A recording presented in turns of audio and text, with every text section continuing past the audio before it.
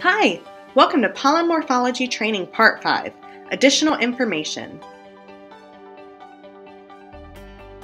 Today, we are going to provide some additional information that may help you further identify an unknown pollen grain. Let's discuss the following. Detailed reticulate information, saccate morphology, sulcus and ulcus aperture types, transverse colpus, compound apertures, aperture membrane ornamentation, clypeate grains, and detailed tetrad and polyad information. Reticulate information. Reticulum is composed of murae, which are a network of ridges that create depressions that are known as lumina. Homogeneity of the reticulum. Homobrochate grains have a reticulum that is uniform in size. Heterobrochate grains have a reticulum that has a variation in size, which may be gradual or random throughout the surface of the grain.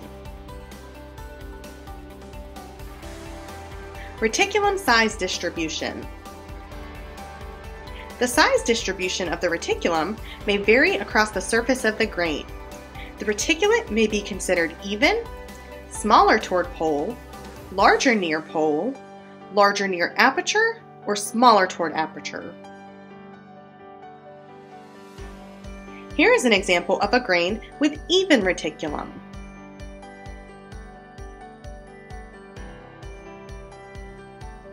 Here is an example of a grain where the reticulum gets smaller towards the pole.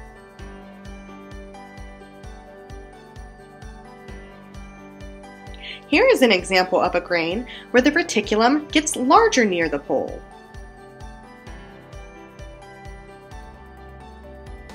Here is an example of a grain where the reticulum gets larger near the aperture. Here is an example of a grain where the reticulum gets smaller towards the aperture. Reticulum cristatum is a special type of reticulum that has prominent sculpturing elements present on the murae. If present, this description may be included in the Notes section of the database. Here is an example.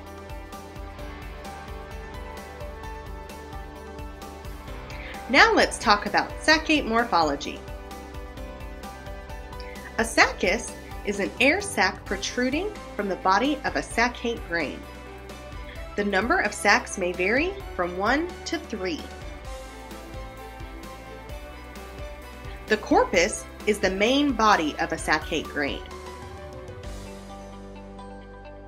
The leptoma is a thinning at the distal pole of a saccate grain and it is believed to function as the aperture. Now let's discuss some additional information regarding apertures. A sulcus is an ectoaperture that is similar to a colpus, but it differs in its orientation. It is commonly found on monocot grains. For our purposes, it would be described as a colpus in the database. An ulcus, also referred to as ulcerate, is a thinning of the exine that appears similar to a pore but may be irregular in shape. For our purposes, it would be described as a pore in the database. It may also be described in the Notes section of the database. Here is an example. A transverse colpus is a ring-shaped endoaperture that is continuous around the equator of the grain. For our purposes, it would be described as zonorate in the database. A compound aperture is composed of overlaying apertures occurring in different layers of the wall. This would be described in the Notes section of the database. Here are a few examples.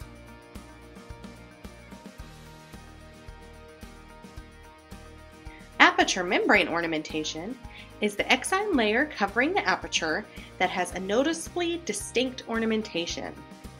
Typically, there is a different pattern on the aperture than on the surface of the grain. Here are a few examples.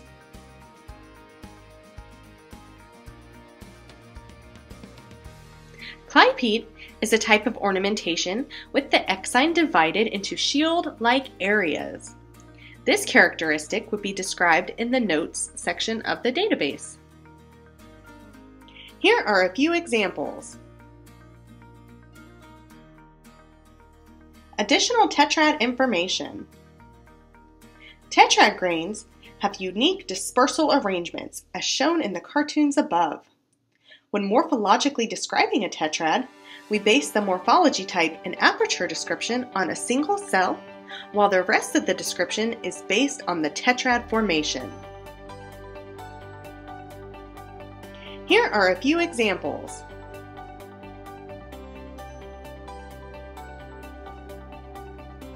Take a moment to watch these Z-Stack videos.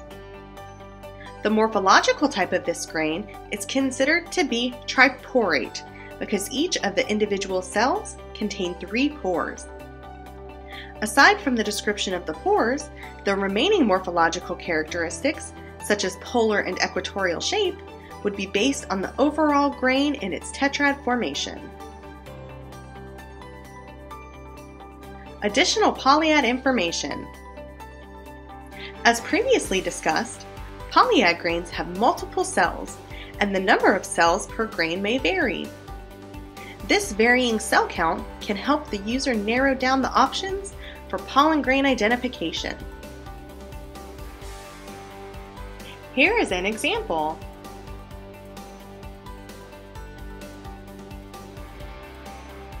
Take a moment to watch these Z-Stack videos. In this example, try to count or estimate the number of cells present.